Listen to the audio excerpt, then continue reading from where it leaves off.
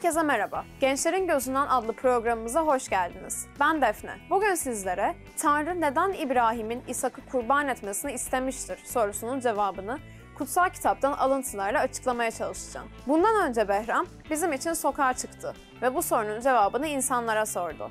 Gelin röportajlarımızı izleyelim ve daha sonra birlikte yanıtlayalım.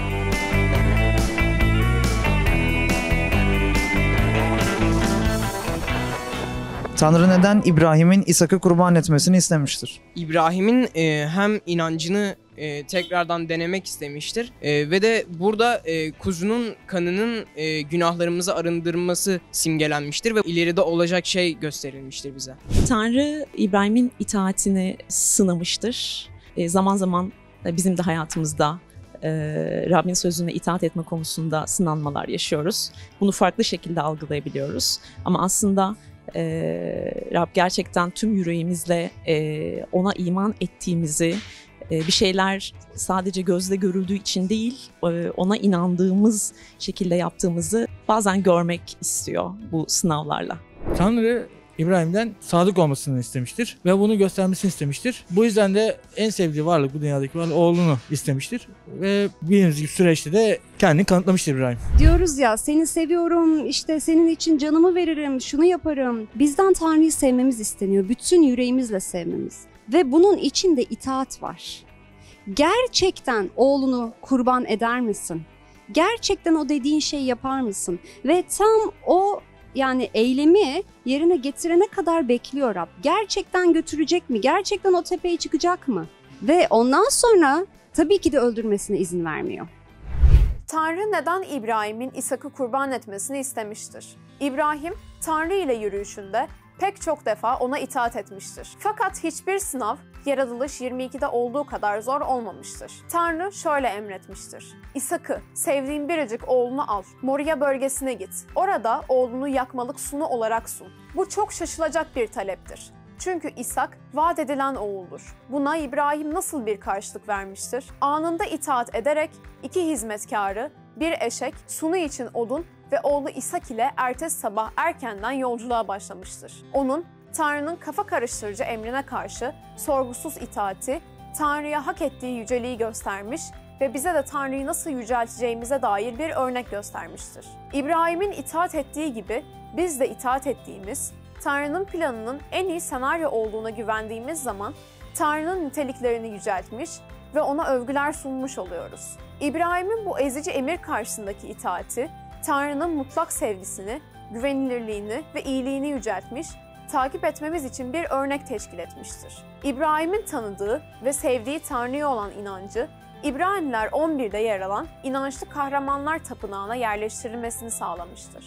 Tanrı, kurtuluşun tek aracı olarak kendisinden sonra gelen herkes için İbrahim'in inancını örnek olarak kullanmaktadır. Yaratılış 15.6'da der ki, Avram Rab'be iman etti. Rab bunu ona doğruluk saydı. Bu gerçek Romalılar 4.3 ve Yahuda 2.23'te tekrar edildiği gibi Hristiyan inancının temeline vurgu yapmaktadır.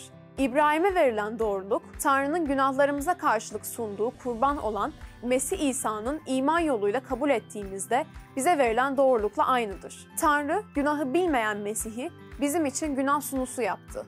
Öyle ki Mesih sayesinde Tanrı'nın doğruluğu olalım.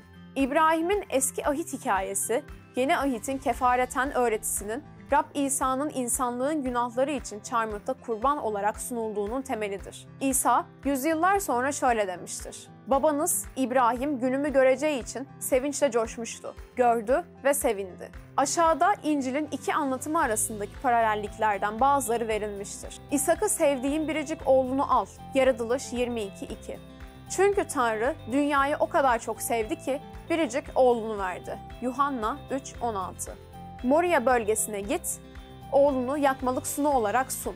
22.2 Bu alanın yıllar sonra Yeruşalim kentinde kurulduğu ve İsa'nın şehir duvarları dışında çarmıha gerildiği bölge olduğuna inanılmaktadır.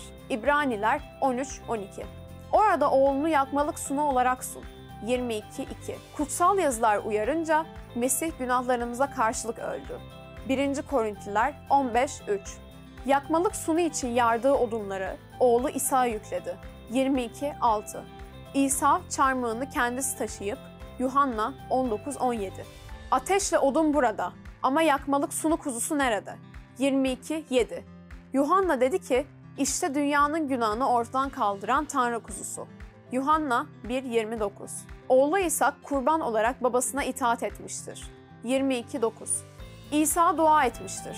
Baba, mümkünse bu kase benden uzaklaştırılsın. Yine de benim değil, senin istediğin olsun.